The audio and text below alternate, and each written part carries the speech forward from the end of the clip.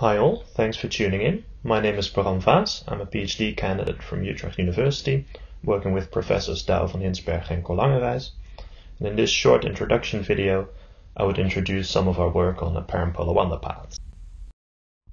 Apparent polar wander paths, or APWPs, are commonly used in the earth sciences to reconstruct the past location of continents relative to the Earth's spin axis. They also provide a reference against which we compare independent poles to assess relative latitudinal motions or rotations. APWPs are typically calculated by averaging a set of study poles that fall within a certain time window.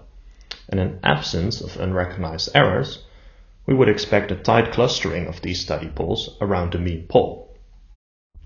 But in reality, we observe a large dispersion of study poles around the mean pole. For example, in the global APWP of Torsvik and others, we observe an average angular distance of about 8 degrees relative to the mean pole.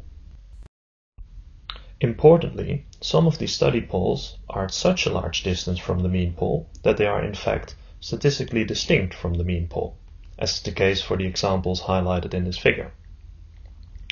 In a recent paper by Dave Rowley, it was shown that about 50% of the study poles used in the recent global APWP are statistically distinct, using the traditional combined uncertainty metric, shown in the bottom right corner here. If the poles used for the global APWP are itself statistically distinct from the pole path, this would of course have strong implications for the tectonic applications of paleomagnetism, like discerning tectonic rotations. We have analyzed some of the potential causes of this problem, and we find that poles that are significantly displaced often do not adequately record and average out paleosecular variation, or are derived from clastic sedimentary rocks. As you can see in these figures, sediment-based poles are much more dispersed compared to poles derived from igneous rocks.